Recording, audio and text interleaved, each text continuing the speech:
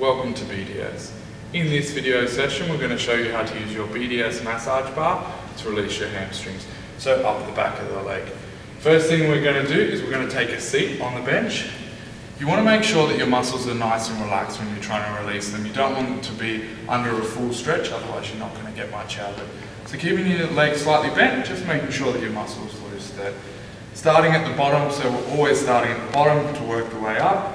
Just go up four, down two, up four, down two, up four, down two, up four, down two. Really easy, work your way up. You might find that your bum's a little close to the edge, so try and scoot it forward so you can get the whole way up the hamstring. So, down.